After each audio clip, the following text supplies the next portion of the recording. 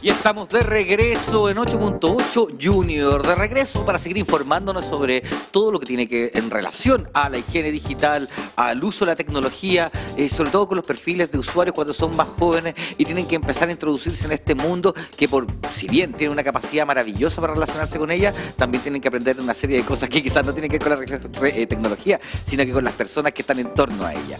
Pero para continuar con esta gran conversación tenemos a una leyenda de la ciberseguridad argentina.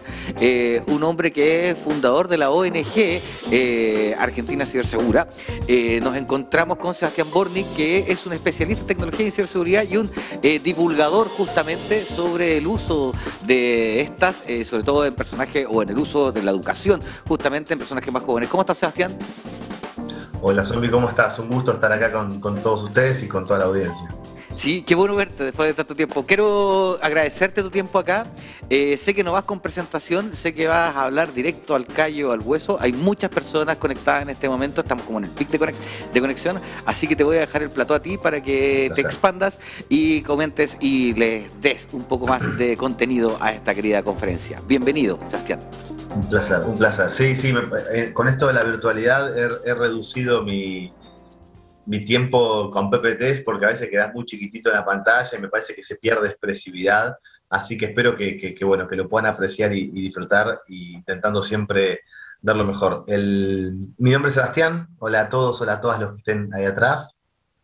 Y como bien me presentaban recién, más allá de que yo trabajo en su informática ya hace casi 15 años, eh, en actividades eh, técnicas y de investigación fundamentalmente, ya hace casi 11 años de esos, de ese camino, que me he enfocado en, lo que es divulgación, intentar ayudar a la gente a, hacer un uso responsable de los sistemas, sabiendo la importancia que tiene el rol del usuario. Y en ese contexto, particularmente, me he especializado a partir del camino que hicimos con la ONG Argentina Segura y, y algunos trabajos posteriores, en lo que tiene que ver con los chicos y las chicas, la niñez, la adolescencia en Internet y qué es lo que, digamos, eh, los riesgos que existen en Internet, que al final del día quienes nos dedicamos a, la ciberseguridad, al hacking, a, como lo quieran llamar, eh, estamos todo el tiempo trabajando sobre los riesgos en Internet. Bueno, esos riesgos, ¿cómo impactan en la niñez y la adolescencia? Y he puesto mucho el foco en eso. Hemos recorrido, particularmente en Argentina, decenas, eh, yo quizás más de cientos de, escuelas de todo el país, y con eso fui aprendiendo un montón y me pareció que era muy importante, y por eso me fui especializando en el tema de entender qué pasa en esa etapa de la vida, con la dificultad que implica que además la gran mayoría de los adultos, quienes supuestamente debemos estar ahí para ayudar a, eh, los niños, en, esos, en esos aspectos, a los niños y a los adolescentes, ¿no? Cuando son más grandes, pero la gran mayoría de los adultos no tuvimos una adolescencia y una niñez acompañada de tecnología. Incluso yo, que soy un adulto joven, que me dedico a la tecnología, que puedo estudiar el tema, puedo aprender un montón, pero nada de eso va a cambiar que, no sé, si hay alguien que me está escuchando que tiene 14 años, tiene redes sociales, juega juegos en línea y tiene 18.000 apps instaladas en su teléfono celular, bueno, yo que soy un adulto joven no tenía celular, no tenía internet, no tenía apps, no tenía redes sociales cuando tenía 14 años. Entonces, podemos ayudarlos, podemos acompañarnos desde, la información, pero sin lugar a dudas es un desafío muy grande para todos los adultos poder acompañar todo el proceso de crecimiento, eh, particularmente en la preadolescencia y la adolescencia, sabiendo que no podemos hablar desde la experiencia, sino que tenemos que hablar desde otro lugar. Y por eso, además de, dar muchas charlas con, chicos y chicas, también doy bastantes charlas, de hecho bastante más me especializo ahora en intentar acompañar a las familias, a, los colegios, a los docentes, eh, respecto a, esta problemática, es decir, cómo acompañar, acompañarlos a ustedes que están transitando la adolescencia y que sientan que los adultos estamos acá para ayudarlos, para darles una mano, para contener cuando es un incidente, para guiarlos en las buenas prácticas y no simplemente para controlarlos, o como lamentablemente me encuentro muy, seguido, que me, me pasan las redes, en donde no hay, no se busca la ayuda de un adulto ni en la prevención ni en la contención de, los riesgos en Internet. Detalle de color, tengo hace el año pasado saqué un libro, lo menciono brevemente, Guía para la crianza en un mundo digital, si se lo quieren recomendar, es un libro para adultos, eh, Guía para la crianza, si se lo quieren recomendar a sus papás, a sus mamás, ahí está, se consigue en toda la en todo el, en todo el mundo en ebook, y en algunos países como Chile, Argentina, Uruguay también se consigue en libro. ¿De qué quiero hablar hoy? Les quiero contar un poco cuál es mi experiencia, mi perspectiva respecto a qué pasa en la adolescencia con la tecnología, ¿no? O sea, la tecnología es grandiosa, pero particularmente a mí me toca trabajar y divulgar y concientizar sobre los aspectos peligrosos de la tecnología. Es decir, disclaimer antes de comenzar, las cosas que vamos a estar hablando a continuación no son las únicas cosas que pasan con la tecnología. No, no es que la tecnología es mala, ¿bien? Hay un montón de cosas magníficas de la tecnología. Yo amo la tecnología, me compro remeras con tecnología y uso tecnología constantemente, además de usar un cuaderno. Eh, y amo la tecnología, estudié eso y creo que es grandiosa, pero también creo que hay riesgos asociados que tenemos que, tener cuidado. Entonces siempre hago esta aclaración para que no quede la sensación de que porque voy a hablar los próximos 30, 35, 40 minutos de los riesgos de la parte negativa de la tecnología, que eso no significa que es algo malo o para dejar de usarla o para, o para asustarnos por demás. ¿bien? De hecho, la tecnología no es ni mala ni buena. ¿bien? La tecnología es tecnología. ¿bien? ¿Alguna vez se preguntaron si un televisor es bueno o malo o si un automóvil es bueno o malo? En general no, no solemos darle tanta entidad moral a, un objeto tecnológico. Sin embargo, con el surgimiento de Internet y de las aplicaciones y de las redes sociales, está muy frecuente, ¿no? Eh, algún adolescente, alguno de ustedes empieza a hacer una aplicación nueva y enseguida en el mundo adulto aparece el, ¿qué pasa? ¿Qué pasa con TikTok? ¿Es bueno TikTok o es malo TikTok? Y a mí me lo preguntan constantemente. Yo en, mis redes sociales tengo mucho más adultos que niños y aparece una tecnología nueva y les agarra un ataque de, ¿qué hacemos con TikTok? ¿Lo prohibimos, no lo prohibimos? ¿Nos preocupamos, no nos preocupamos? en lugar de hacerse la pregunta correcta, que no es si la tecnología es buena o mala, sino qué tenemos que hacer nosotros para usarla bien o qué hacemos nosotros para usarla mal. La tecnología no es ni buena ni mala, tendrá ventajas o desventajas, habrá cosas más positivas o más negativas de ciertas aplicaciones y de ciertas tecnologías, pero al final del día no tiene una entidad moral y somos nosotros, como usuarios, los que decidimos si vamos a hacer un buen uso de esa tecnología o un mal uso de esa tecnología. Y para mí, cuando hablo de un mal uso, hablo de de varias cuestiones, pero principalmente de exponernos a situaciones de inseguridad, es decir, que, tengamos un problema de seguridad, o de insalubridad, hablo yo, es decir, que tengamos un problema de salud. Y ahora vamos a hablar como salud. Yo me acuerdo hace unos años, hará cuatro o cinco años, la primera vez que me invitaron a dar una charla de estos temas en un hospital. Y me acuerdo que estaba en la puerta y pensaba, era una charla para médicos, ¿no? Para, para médicos pediatras, para médicos de jóvenes. Y pensaba, si me hubieran dicho 15 años atrás, cuando estaba estudiando, empezando mi carrera laboral, que iba a terminar dando una charla para médicos, hubiera dicho que era imposible. Sin embargo, la tecnología y la salud tienen mucho que ver. Por eso yo hablo siempre de un uso sano y un uso seguro de la tecnología. tenemos que cuidarnos de que no nos pase algo malo en estos dos aspectos, desde la seguridad y desde la salud. Y obviamente voy a ir explicándome a lo largo de la conversación. Entonces, lo que yo tengo acá, yo uso mucho mi, PowerPoint para, para dar charlas.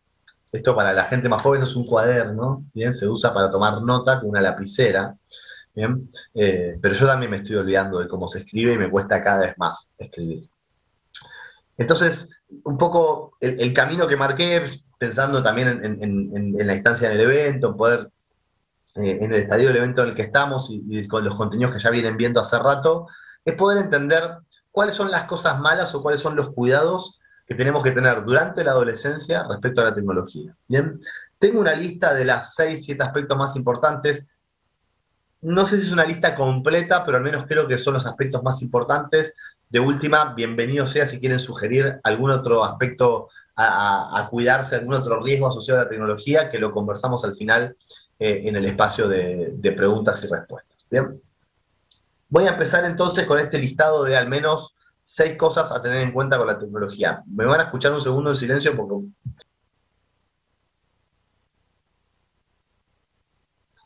Perdón, pero con esto de la virtualidad, si hay alguien con auriculares y yo llego a toser, le puedo causar un, problema, así que preferí poner el mute. Estoy un poco con la garganta un poco tomada, así que no se asusten si de ahí por algún segundo me, escuchan que, me muteo.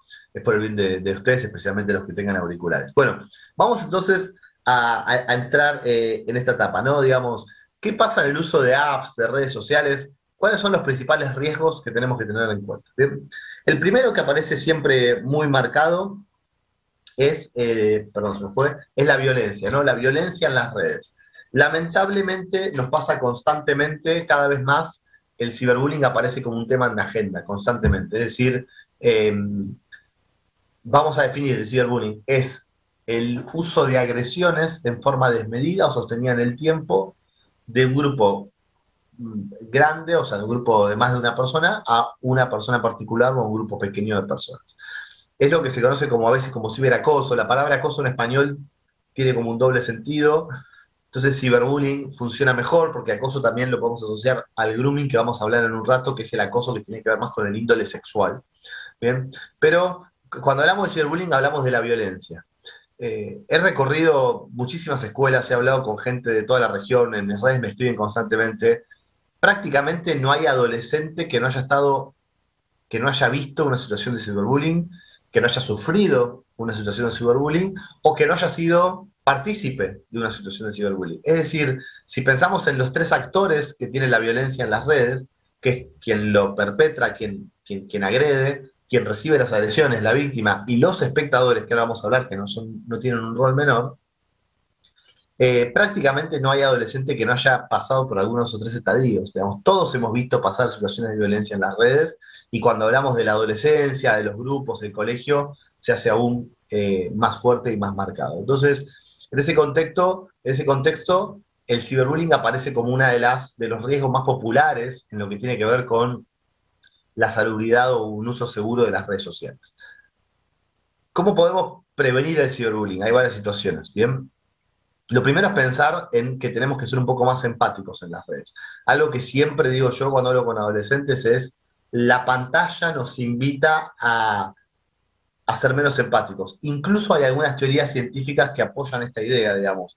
Hay, hay, hay toda una corriente científica que, de las neurociencias que, cree que la empatía está, está muy asociada a la vista, ¿bien? A, nuestra capacidad de ver en las expresiones, las expresiones del otro y que la comunicación gestual y todo lo que tiene que ver con lo que vemos es muy importante. Hay ciertas teorías médicas que me, que me trascienden, pero me resultó muy interesante cuando fui investigando estos temas encontrar que así como muchos científicos previo a este, a este problema de las pantallas asociaban la empatía a la capacidad de ver al otro y de que, que nuestro cerebro reacciona a lo que vemos del otro, en, tiene en cierta forma cierto sentido que cuando me estoy comunicando con el otro en una pantalla y el otro se convierte en una pantalla, es decir, yo estoy hablando con un amigo, pero mi amigo no lo estoy viendo, estoy viendo una pantalla, en el mejor de los casos con su nombre y en el mejor de los casos con su foto de perfil, generalmente en forma pequeña. Entonces, tiene cierto sentido que a veces bajamos las defensas, y cuando digo las defensas no me refiero a que nos ataquen, sino a nuestra comunicación tenemos una tendencia a ser más agresivos en redes de lo que somos en el espacio físico, en el espacio analógico.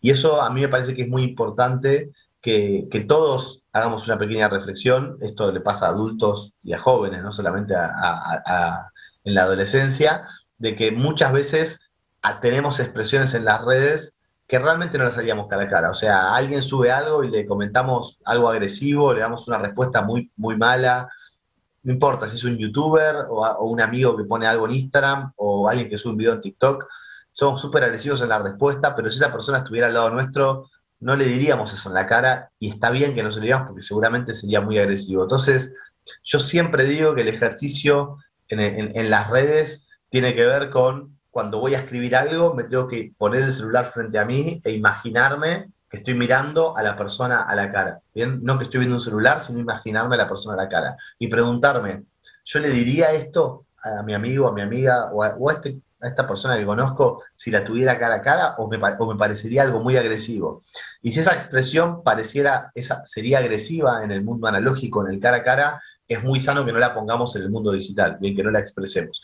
Y parece trivial, pero a veces en el día a día, en la velocidad en la que nos movemos en las redes, no siempre tomamos conciencia de eso y no siempre eh, estamos con cuidado.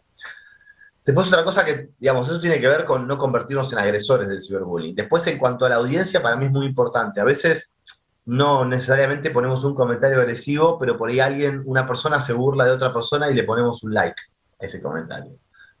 O simplemente reenviamos eh, alguna publicación que tiene agresiones. Entonces, o simplemente no hacemos nada, lo cual no es sano, ¿no? Siempre me, he encontrado, estos años me han reportado un montón de situaciones donde donde se ven publicaciones que agreden a otra persona, y pienso, muchas veces encontrás decenas, a veces más, de comentarios negativos, agresivos, y pocas veces encontrás un comentario diciendo, che, no agredan, no pasa nada. ¿Por qué, ¿Por qué son tan agresivos? No les da vergüenza, como que cuesta la defensa del agredido en redes sociales. Y la verdad que en ese sentido hay una oportunidad en las redes sociales, digamos, así como es fácil agredir a alguien a través de un celular, porque a veces es un segundo escribir algo y mandar un mensaje, también es fácil defender a alguien en una publicación, que no es lo mismo que si nos encontramos con una situación de violencia en la calle, que uno dice, uy, no, tengo miedo de meterme. Esto es distinto, se puede hacer de forma anónima, se pueden reportar los comentarios agresivos, y a veces tomamos un rol muy pasivo de, bueno, sí, lo vi, veo que están agrediendo a tal persona, sigo de largo. Eh, y bueno, como muchas cosas en el mundo, eh, muchas personas buenas que no hacen nada, no, digamos, termina haciendo mucho daño. Y después respecto a un potencial lugar de víctima, porque nos puede pasar a todos que estemos en un lugar que nos agregan en las redes, eh, me ha pasado alguna otra vez y realmente es un lugar muy incómodo, un lugar malísimo, tristísimo, muy frustrante para estar. y creo que es importante que pensemos también en las relaciones humanas, en cómo fomentamos la autoestima en cada uno de nosotros y especialmente en, aquellos que están, eh, como ustedes, transitando la adolescencia, que es una edad en donde la autoestima está en juego constantemente. Bueno, no hay que darle tanta entidad al agresor, ¿no? También en lo que llaman los haters, no hay que darle tanta entidad. Hay, una publicidad muy linda, si quieren búsquenla después, busquen Sprite, eh, la bebida Sprite, eh, haters, que habla un poco de te agreden, reíte y no les contestes. Yo constantemente digo, no se le contesta a los agresores. Ayer justo tenía uno en Twitter que me cada cosa que publico me contesta, me contesta. Y llegó un momento que dije, no le contesto más. Y cada día que me contesta, tengo que hacer un esfuerzo para no contestarle. Pero lo mejor que puedo hacer con la gente que se dedica en las redes simplemente a sembrar odio, a sembrar agresiones, es ignorarlos. Es ignorarlos, reírte y seguir adelante. No es fácil, no es fácil, pero es lo mejor que podemos hacer. Entonces, primer aspecto a cuidarnos en las redes tiene que ver con la violencia, bien los haters o ya el ciberbullying, que es cuando escala y hay, una agresión más, más fuerte.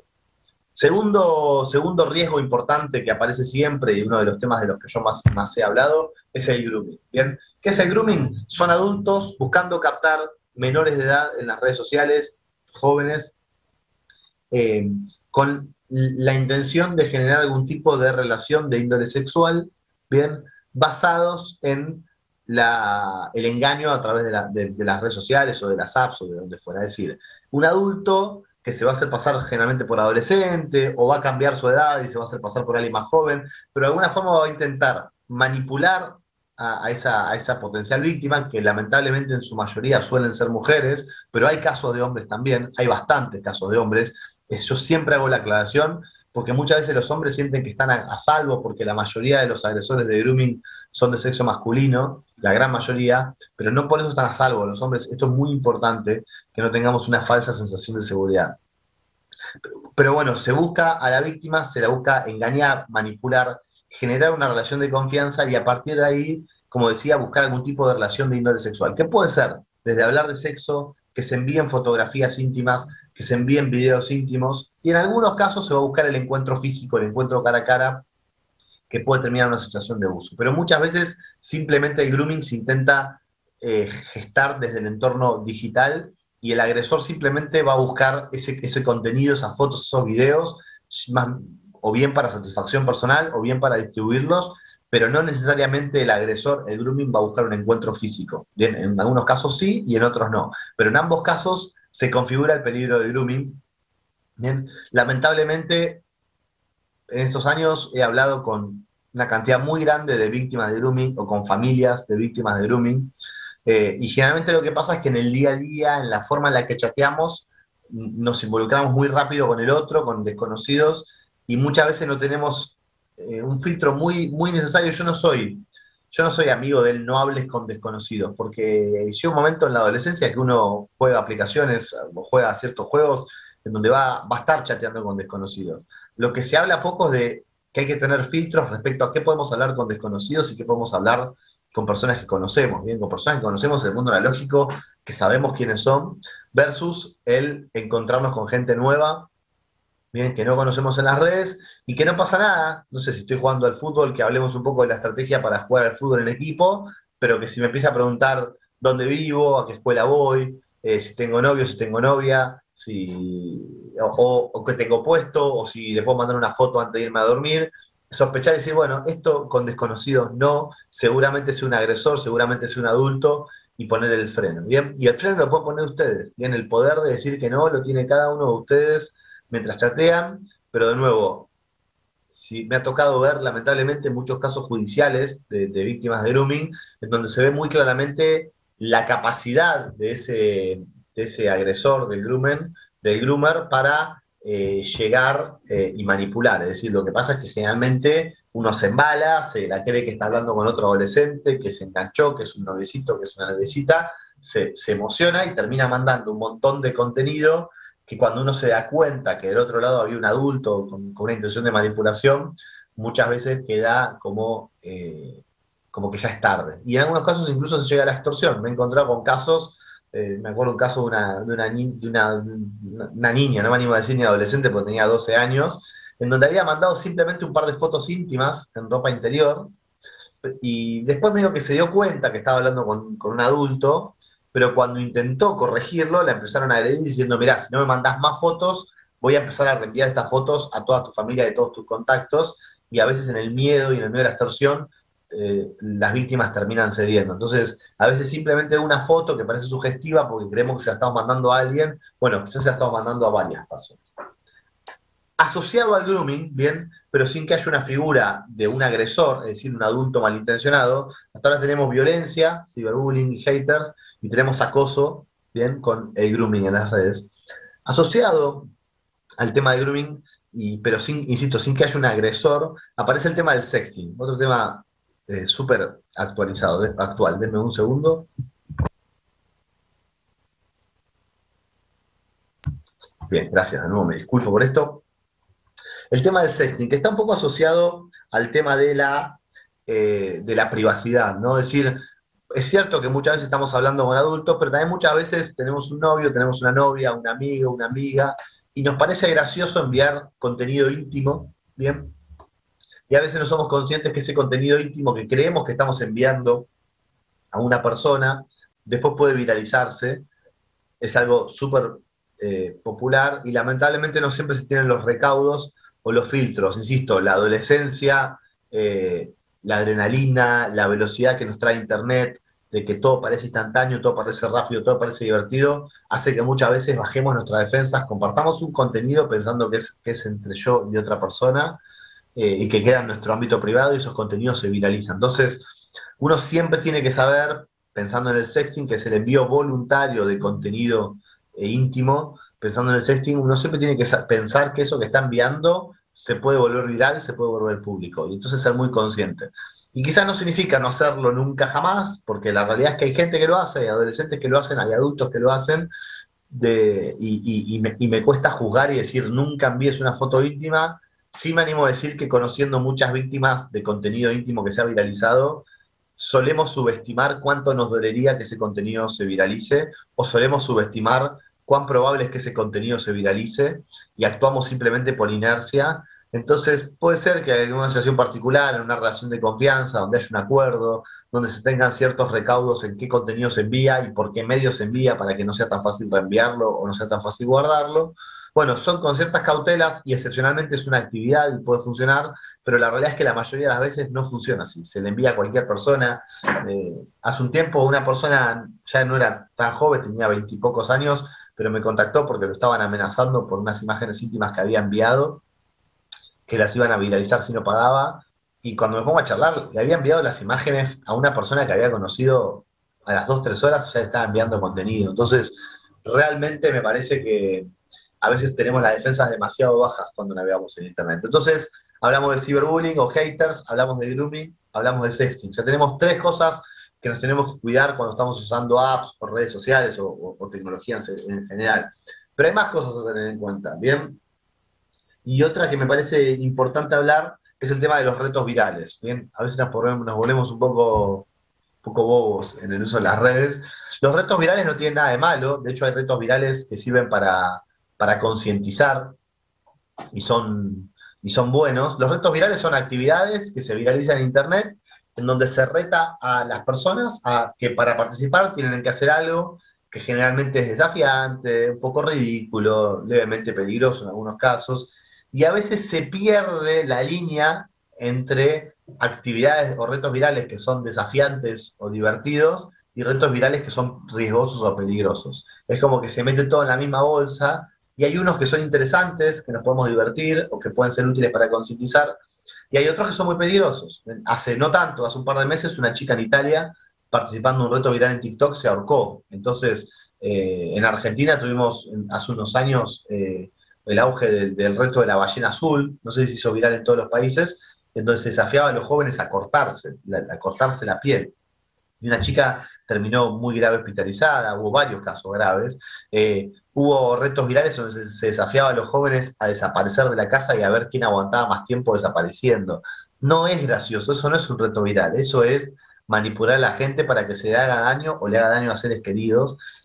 Pero todo circula en la misma línea, ¿no? Es como que hacer un jueguito, desafiar, a ver, eh, no sé si Mannequin Challenge, si me puedo quedar congelado sin moverme, a veces entra en la misma línea que desaparecer de mi casa y que mi familia no se entere, y no son lo mismo. Entonces, los retos virales un poco juegan ¿no? con otra cosa que yo había mencionado mientras eh, en, los puntos anteriores, que es la velocidad en la que nos movemos en Internet.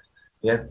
A veces cuando hablo de movernos más lentos no hablo de hacer todo súper lento, pero a veces la diferencia entre participar de un reto viral y no participar es dedicarle 30 segundos a reflexionar si es peligroso. 30 segundos, no, no es que digo, pongamos el reto viral, lo guardamos, lo analizamos, lo hablamos con 15 personas, firmamos un papel burocrático y después participo. No, no, hablo de dedicarle un minuto a pensar al respecto. Hablo de poner esa pausa que es chiquitita, pero que cambia la diferencia entre la gente que se mueve rápido y por inercia en las redes y la gente que se mueve con cautela, y no por eso lento, sino simplemente con un poco más de cautela. Entonces, cuarto, los retos virales, obviamente voy a resumir al final. Y después aparecen otros dos aspectos, no me quiero pasar con el tiempo, pero vengo bien. Eh, aparecen otros dos aspectos que a mí me parecen importantes en el, uso de las redes. Uno tiene que ver con la construcción de la imagen. ¿no? Hoy en día, con Instagram, con TikTok, pasamos demasiado tiempo exponiendo o construyendo una imagen de nosotros en las redes y eso puede generar dos grandes problemas que están asociados a la, construcción de la imagen, pero lamentablemente atrás de la construcción de la imagen también está la construcción de nuestro bienestar, digamos. No es casualidad que la depresión adolescente es un mal que viene en aumento sostenido los últimos años y bastante aumentado desde los últimos 15, 20, casualmente desde que la, infancia y la adolescencia está atravesada por tecnologías y redes sociales. Y tiene que ver con que muchas veces las redes sociales son un engaño respecto a quiénes somos y quiénes son otras personas, respecto a cuáles son las barreras para ser feliz. Yo siempre digo, si yo entro a Instagram, siempre hay alguien de vacaciones, siempre hay alguien comiendo algo más rico que lo que yo estoy comiendo, siempre hay alguien viajando más de lo que yo viajo, siempre hay alguien que tiene pareja cuando yo, novio cuando yo no tengo novia, cuando, cuando yo estoy solo, siempre hay alguien que tiene más amigos que yo, siempre hay alguien que le va bien y que sube cuando fue a jugar al fútbol y ganó, y yo fui a jugar al fútbol y perdí. Es muy difícil porque muchas veces subimos a las redes sociales solamente las cosas buenas de nosotros y ocultamos las cosas malas, los miedos, las tristezas que son parte de la vida, pero que lamentablemente no siempre las redes sociales nos invitan a compartirlo. E insisto, eso genera dos problemas. El, primero y el más obvio es que a nosotros nos queda la sensación muchas veces que el resto está mejor que nosotros. Las redes sociales nos engañan y nos dan la sensación, ay, mirá, a esta tiene un montón de amigas y yo no, yo no tengo tantas amigas. Y quizás no tiene tantas amigas, quizás subió dos o tres fotos, o quizás tiene amigas y se lleva mal, no lo sé. Lo que digo es que la vida no es, no es lo que está en las redes sociales, ¿no? Hace un tiempo eh, me invitaron a escribir una columna en un diario y yo, el título era Nadie es tan feliz como parece en Instagram, ¿no? Y a mí me parece que es un punto de partida, digamos, que las redes sociales no son el reflejo de lo que somos, sino simplemente el reflejo de lo que queremos mostrar en las redes. Y tenemos que ser conscientes de eso cuando estamos consumiendo contenidos en las redes.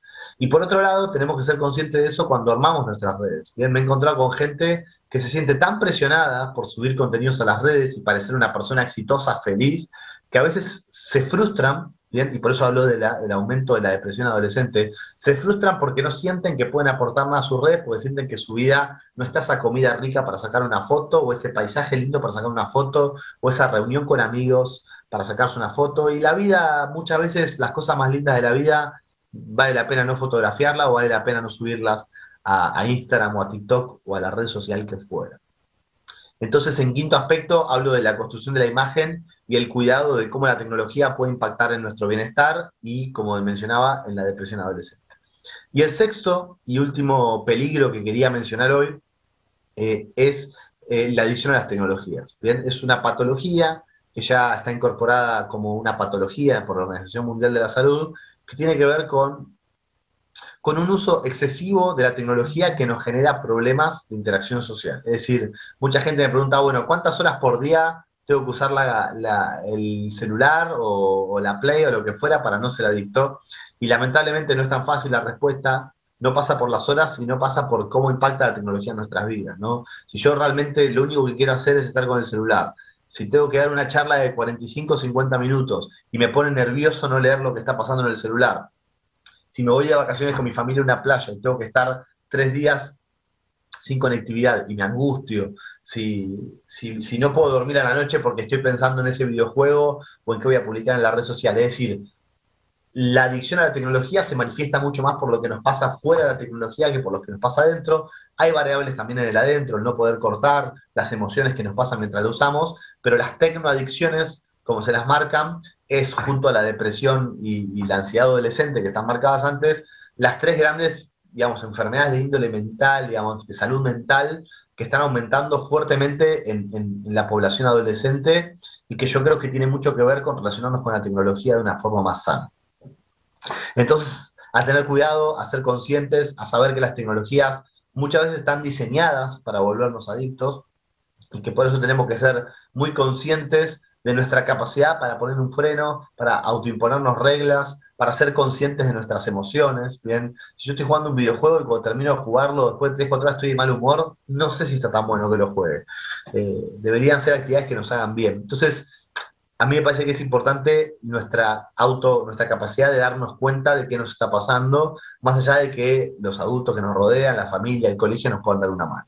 Entonces, quiero hacer un resumen de cuáles son los riesgos y dejar algunas ideas, por supuesto, para, para terminar, pero quiero repasar, digamos, todos los riesgos y las cosas que nos tenemos que cuidar en las redes sociales, o al menos las seis más importantes, insisto, ahora abrimos el diálogo para ver si tienen alguna pregunta o, o quizás me olvidé de algo, no hable mucho del trastorno de sueño, que a veces está asociado a la adicción a la tecnología, pero esta lista de seis es la lista que yo suelo usar como los aspectos más importantes. Entonces, insisto, violencia en las redes, haters, ciberbullying, acoso en las redes, que se conoce como grooming, ¿bien? Eh, privacidad e intimidad en las redes, sexting, envío de fotos íntimas, el tercero. El cuarto, todo lo que tiene que ver con eh, los retos virales, ¿bien? yo digo la estupidez en las redes, o sea, la idea de que somos mejores porque participamos de un reto.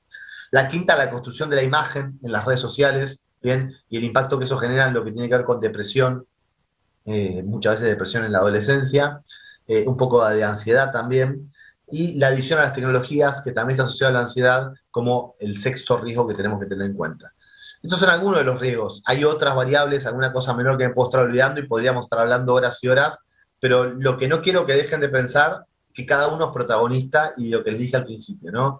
Las tecnologías no son ni buenas ni malas, ni Facebook, ni Instagram, ni TikTok son ni buenos ni malos, sino que son redes sociales que tenemos que ser cuidadosos y conscientes respecto a nuestra capacidad de usarlos bien, de usarlas de forma responsable, de usarlas de forma sana y segura, y por supuesto de pedir ayuda cuando sea necesario, a sus familias, a los colegios o por las redes, pero siempre está la posibilidad de pedir ayuda. No dejen que la tecnología les una mala pasada. La tecnología es genial y está acá para ayudarnos a hacer cosas lindas, a hacer cosas mejores, a, conocer gente que no podríamos haber conocido, a seguir en contacto. Ahora piensen después de la pandemia cómo pudimos seguir en contacto con mucha gente gracias a la tecnología y no está acá para hacernos daño o para afectar nuestra salud mental. Esas son algunas de las ideas que quería compartir con ustedes y nada, muy ansioso de dedicarle un ratito más a, conversar y ver las preguntas que han surgido. Muchas gracias y gracias por la invitación.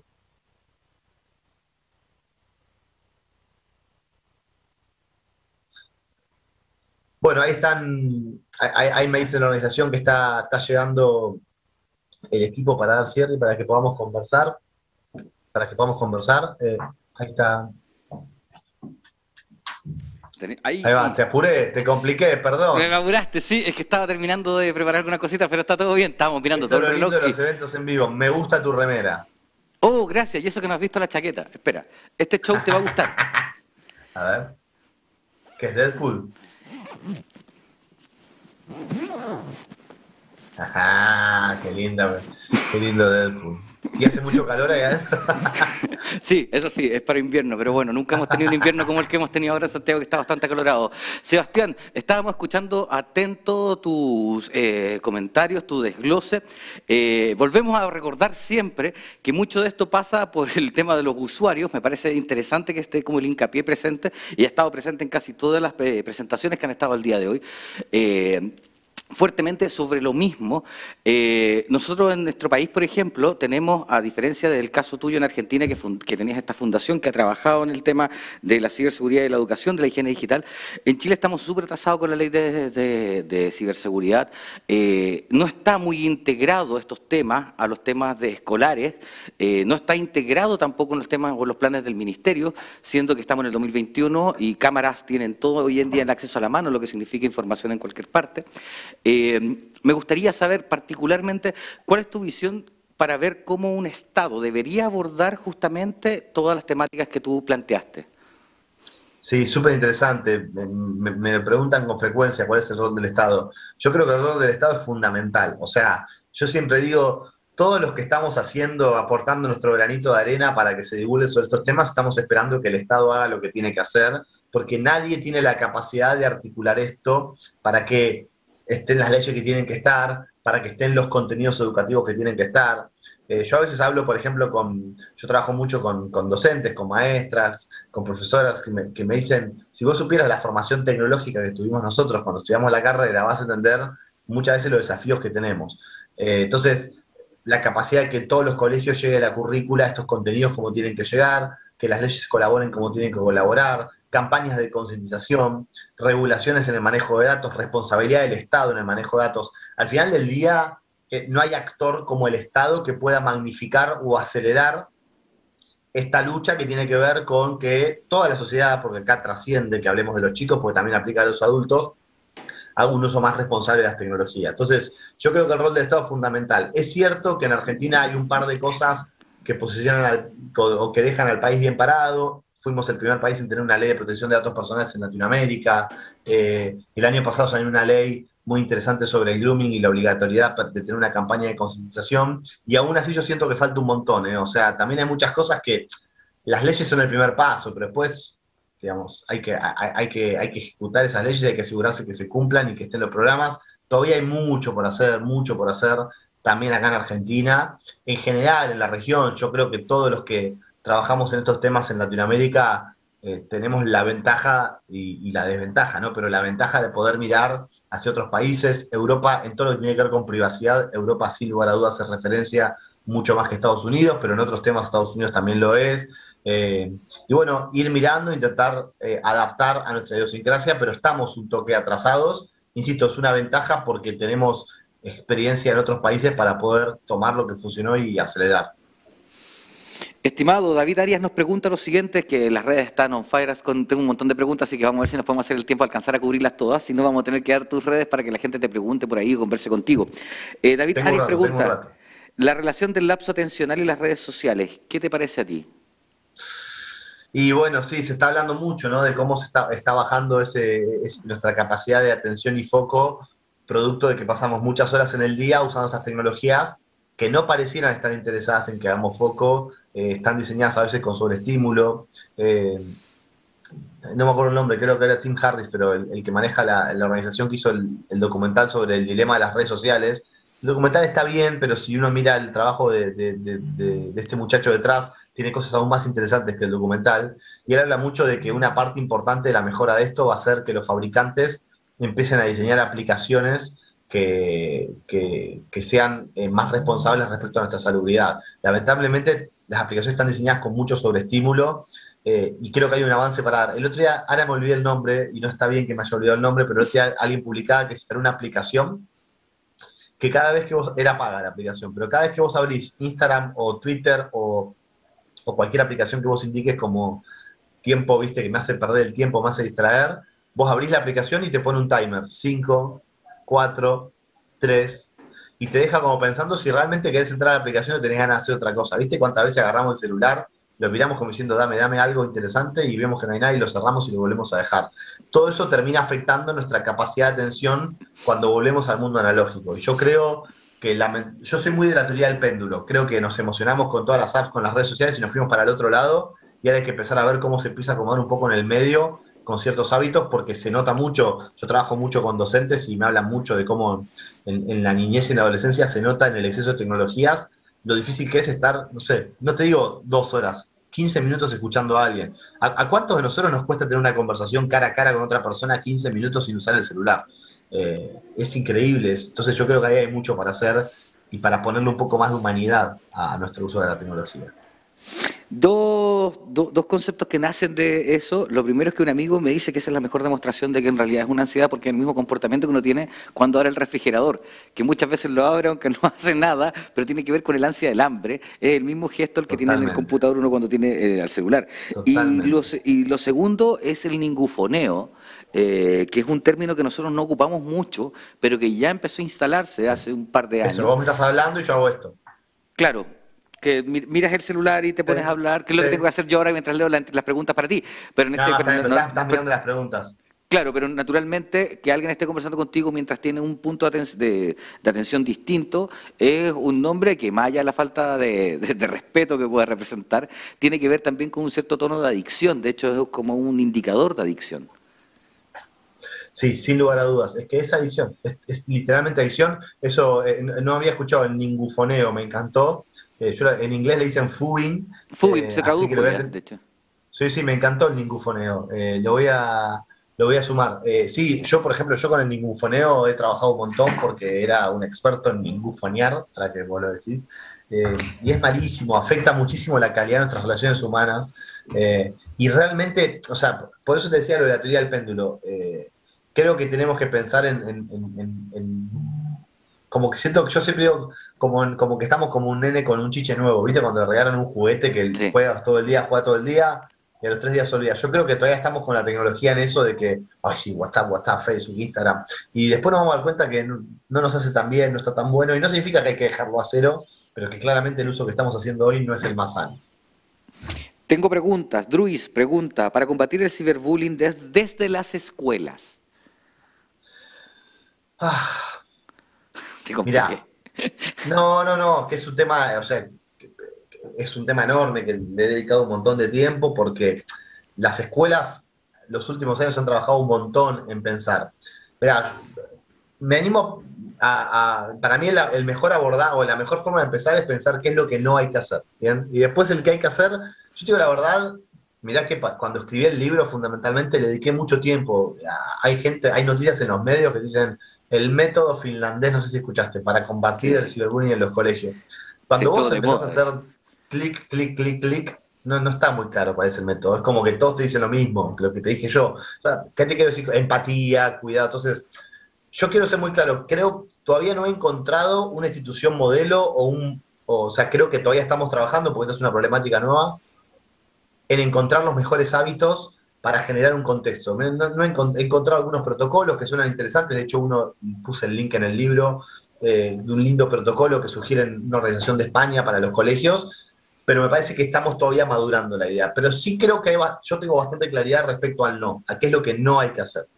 Lo primero que no hay que hacer es no hacer nada, o sea, el ciberbullying tiene que ser preventivo. Es decir, si nosotros como colegio, nuestra única iniciativa ante el ciberbullying es, en el mejor de los casos, tener un protocolo de acción cuando ocurre, y en el peor de los casos, hacer lo que se pueda cuando venga una familia a decir, le están haciendo ciberbullying a mi hijo, ya empezamos mal. Entonces, para mí el primer paso tiene que ver con la proactividad. La proactividad yo creo que tiene al menos tres, cuatro patas, ¿bien?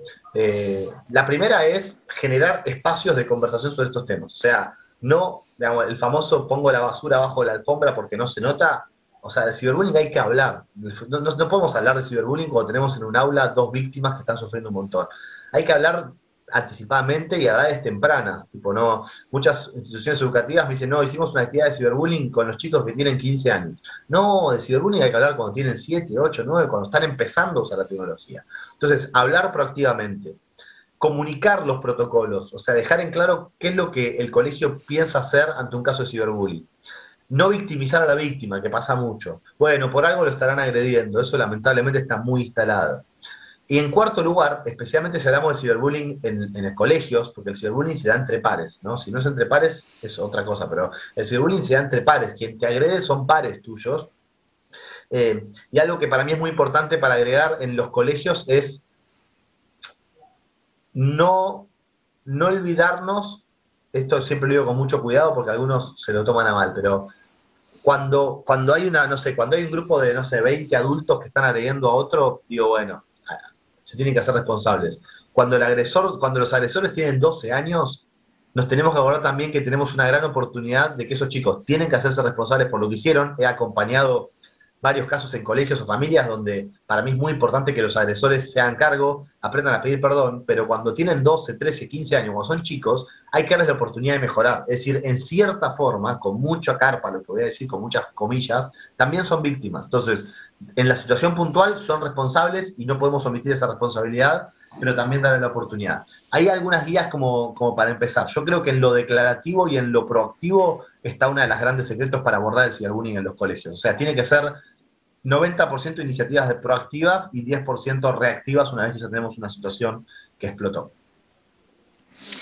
Voy a seguir con la pregunta. ¿Fue la ballena azul el impulso para que se hable más de este tema? Pregunta Benjamín Leal de Limba. Y la ballena azul fue el reto viral más viral, o valga la redundancia, más popular entre adolescentes en los últimos 5 o 6 años. Y además, como incentivaba los cortes, hubo varios fallecidos en distintas partes del mundo. Y lamentablemente a veces tiene que haber casos como estos para que se hable más de los temas. Con lo cual, prácticamente todos los que trabajamos en estos temas, todos los que trabajan en colegios, yo doy charlas constantemente en colegios, y digo retos virales y lo primero que me contestan es la ballena azul. Así que en parte sí, en gran parte sí, y yo siempre digo, es responsabilidad nuestra cuando hay situaciones tan desagradables como esta, convertirlo en una oportunidad y no simplemente que quede como anecdótico. ¿Qué podemos hacer si un amigo quiere hacer un reto peligroso? Pregunta Jaime. ¿Cuál sería como la instancia en la cual podríamos... Tengo miedo. Está buenísima la pregunta. No, ah, no, está buenísima la pregunta. Eh, para mí, o sea, eh, el gran problema es que solemos fallar en todo el trabajo proactivo, lo que decía antes, ¿no? Es decir, trabajar en generar usuarios de tecnología que entiendan que vos no sos lo que la tecnología dice que sos, que vos no sos menos por tener menos likes o por ser menos partícipe. Entonces, todo eso es una construcción que lo ideal sería que la logremos porque no es una construcción que logramos en un diálogo, sino que es una construcción que logramos eh, progresivamente a lo largo de la infancia con distintos eh, incentivos educativos, digamos. Ahora, una vez que estamos ahí, yo creo que es importante dar el ejemplo, hacer un aviso, digamos, eventualmente mostrar alguna historia como la de la ballena azul, pero lo más importante es intentar decirle a la persona, vos no sos más por participar, o sea, participar en un reto viral no te hace mejor, es una fantasía eso, y bueno, hacer el intento como amigo, pero insisto, la realidad es que ya estamos en un intento, no sé si la palabra es desesperado, pero siempre es un intento de último momento, ¿no? Mi amigo quiere participar, bueno, voy a ir con según la relación que tenga con mi amigo, según la edad, porque no es lo mismo a los 11 que a los 16, voy a ir con un mensaje lo más claro y lo más fuerte posible para intentar desincentivarlo. Lo que sí podemos hacer es más progresivamente generar personas que no se crean que son mejores por participar en un reto viral peligroso. Yo, perdona que intervenga ahí, pero es que, por ejemplo, durante la pandemia en Estados Unidos hubo un reto viral que se masificó, que era que jóvenes, en el fondo, como para desafiar el COVID, lamieran la tapa del baño que no tiene ni sentido ni relación, era eh, nace desde como un constructo, como un desafío muy absurdo, que puede parecer infantil, puede parecer, pero dentro de todo se masificó y se y, y me acuerdo que Reddit y otras aplicaciones como TikTok tenían llenas de estas imágenes. Entonces, una de las cosas que me parece súper interesante es cómo algo que normalmente si yo te digo o te lo cuento puede sonar completamente irracional, fuera de este mundo, eh, no, sé por qué razón a mí se me podría ocurrir llevar a cabo ese tipo de acción, se transforma en un acto masivo. Entonces, claro, uno de los grandes cuestionamientos es cómo detienes a alguien que le estás diciendo algo que parece ridículo, pero en realidad lo está considerando casi una proeza a nivel de aceptación. 100%, 100% eh, de acuerdo. Eh, es, tal cual lo que vos decís, o sea, me parece que ahí aparece lo que mencionaba antes, que tenemos una, una forma de medir el mundo analógico y otra forma de medir el mundo digital, eh, y por eso yo insisto tanto en la productividad, en, generar esa idea de que Internet no es tan importante, que Internet es genial, pero que no soy ni más ni menos, y esa, esa autoestima la generamos a lo largo de los años, y esa autoestima en la preadolescencia, en la adolescencia, está muy en juego. Está interesante ese concepto de que Internet no es tan importante, está... Eh, hay que, yo creo que hay con el unito ahí una marquita, puede ser incluso un hashtag o una campaña. Eh, ¿Qué le recomienda a los jóvenes que usan las redes sociales constantemente, basándote en todo lo que has comentado hasta ahora? ¿Cuál sería como, no sé, preceptos quizás, puntos a considerar en la cabeza? primero hashtag internet no es tan importante, ¿no? Y, Me encanta. igualmente, igualmente, yo no estoy diciendo que no usemos redes sociales, yo las uso un montón las redes sociales y estoy aprendiendo a usarlas mejor. Lo que tenemos que, hay, lo, que tenemos que preguntarnos es si nosotros estamos manejando las redes sociales o las redes sociales nos están manejando a nosotros. Entonces, cuando yo veo que estoy usando las redes sociales todo el día, digamos, cuando veo que estoy en Instagram como un nabo ahí con el dedo, con el dedo, con el dedo, con el dedo, y lo estoy haciendo bueno, al revés, no para arriba, es ver pasar, ver pasar cosas y no, está agregando valor a mi vida. Entonces, yo creo que lamentablemente a veces las redes sociales nos ponen en un, y, lamentablemente en la adolescencia pasa mucho, en una ilusión de, pertenencia, de alegría, y nos están haciendo mucho daño. Para mí, el tema de trabajar, y te lo digo porque yo lo viví como adulto, entonces no me quiero imaginar cuán importante más es en, la niñez el tema de trabajar en detectar nuestras emociones, o sea, eh, yo hay adultos que le decís, che, puedes estar una semana sin WhatsApp y te dicen que no, pero después se les rompe el celular y te dicen, no, tuve tres días sin WhatsApp y sabes que estuvo buenísimo. Entonces, poder detectar nuestras emociones. Yo tenía un problema, por ejemplo, la mañana que me levanto y lo primero que hago es agarrar el celular. Entonces estoy trabajando, estoy buscando formas de mejorarlo y me doy cuenta que los días que agarro el celular después de desayunar, le hace a los 30, 40 minutos que me desperté, estoy de mejor humor. Entonces, la capacidad de detectar nuestras emociones, porque eso es lo que tienen las adicciones, ¿no? Que te dan la sensación de que estás bien, pero en realidad perdiste el registro de, lo que te está pasando, porque en realidad no estás bien. Disocia, eh, entonces, es difícil. Exacto, totalmente, exactamente. Eh, es, muy complejo lo que está pasando con las redes sociales. Entonces, eh, yo creo que la postura también es, es, no es dejar las redes sociales, es pensar en qué cosas quizás le estoy dando una entidad que no tienen y en qué cosas estoy sobre, eh, sobrevaluando cuán bien me hace.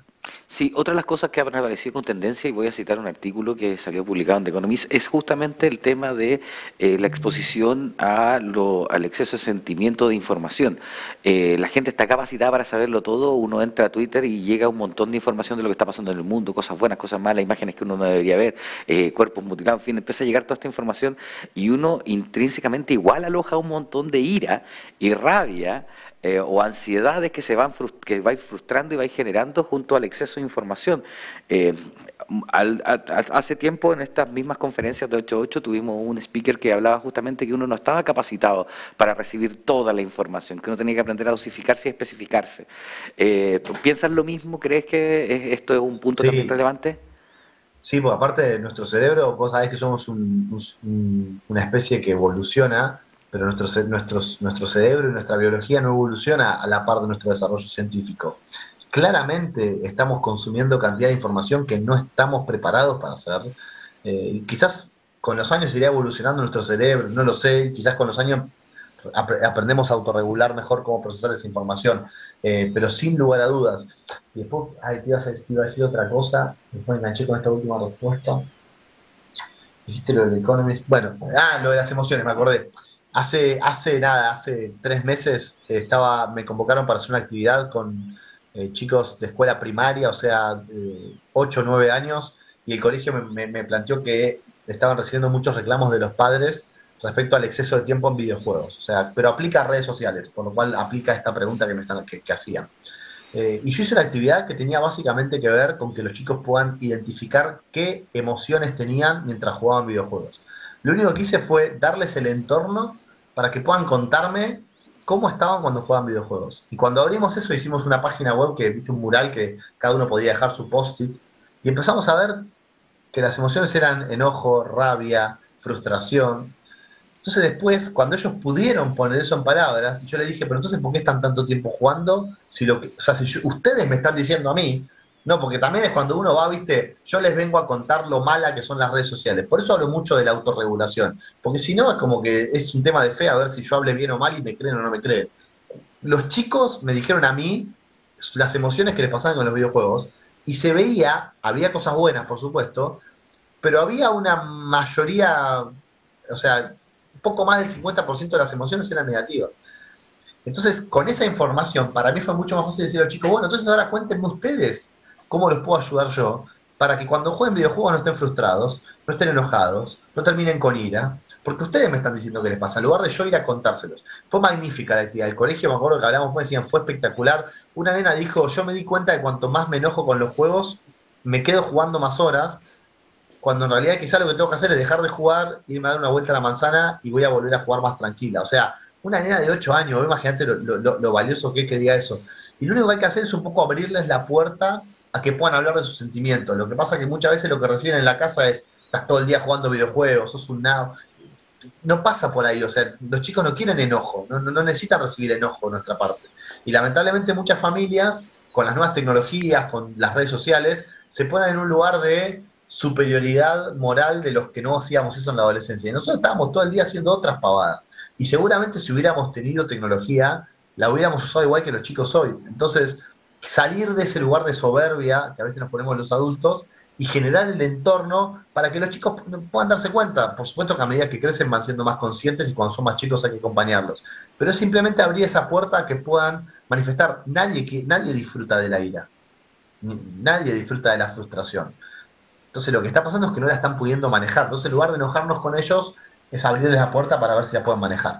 No sabes cuánto me llega lo que acabas de decir. Tengo toda esta discusión justamente in en mi hogar.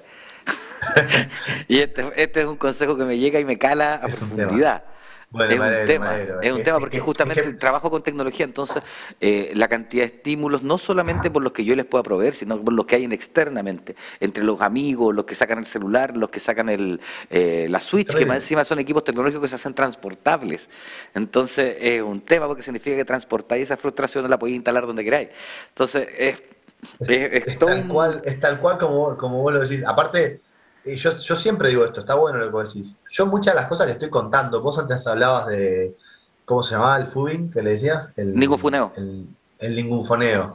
Eh, yo la, yo lo, lo, lo, escribo, doy charlas, y sin embargo estoy trabajando contra eso. O sea, no es que, no es que todas las cosas que yo cuento, en todas, no, son desafíos que estamos viviendo nosotros como adultos también. el tema de la adicción al celular, o sea, para mí yo, yo es un tema que estoy trabajando hace 3, 4 años. O sea, la primera vez que me instalé una aplicación me daba que estaba con el celular ocho horas por día. Es una locura. Eh, no, yo tengo un buen registro, cuatro horas a la semana. Eso.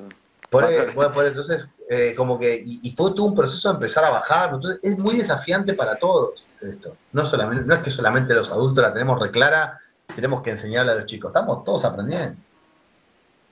Me parece interesante. Me siguen llegando preguntas, pero también me están avisando que eh, ya estamos trabajando en la llegada del otro speaker. Eh, Sebastián, eh, quiero agradecerte enormemente esta larga, grata, instructiva, aclaradora y aunque parezca extraño que te lo diga, esperanzadora charla sobre tecnología y sobre ciberseguridad, porque eh, abre las posibilidades de que hay ideas, hay caminos que seguir. No es eh, muchas veces uno cuando escucha este tipo de información tiende a ser un poco mm, eh, no sé, apocalíptico. Eh, no, se nos viene Skynet, va a venir el mundo, esto se acabó, eh, los niños son una generación que ya se perdió en la pantalla, no hay desarrollo neurológico, hay un montón de elementos más. Eh, sin embargo, dentro de toda la información que tú das de cuidado, siempre hay una presencia de, de, favoritismo, de trabajar en pro de mejorar la tecnología. Eso es súper interesante también de marcar. Me alegro, te juro que, que, que me digas que la charla es esperanzadora, me hace bien porque pensá que hace 11 años que hablo de esto y, es como un desafío constante cada charla que doy. Eh, como hablo de las cosas malas, que la gente no se vaya con la idea de que esto es un desastre, no, que no, tiene arreglo. Eh, así que me alegro, me alegro que funcione porque es un desafío constante en, esto que hago de divulgación. Yo agradecido por la invitación, disfruté, obviamente, bueno, vos sabrás lo difícil que es hoy dar charlas frente a una pantalla en lugar de una audiencia.